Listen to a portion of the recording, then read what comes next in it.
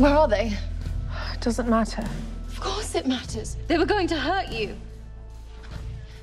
I'm going to find them and rip their heads off and smash them together like two disgusting melons and...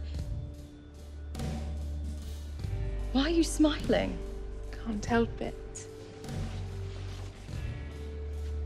You're adorable.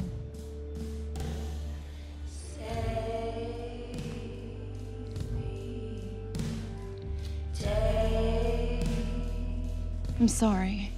You were right to worry. No. I'm sorry. We've been on our own. Scorned, abused, imprisoned for so long. I've forgotten this world is meant to be enjoyed, not feared.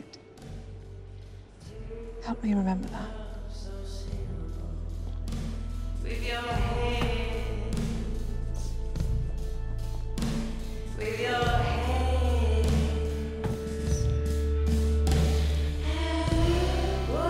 We should get back to Mystic Falls.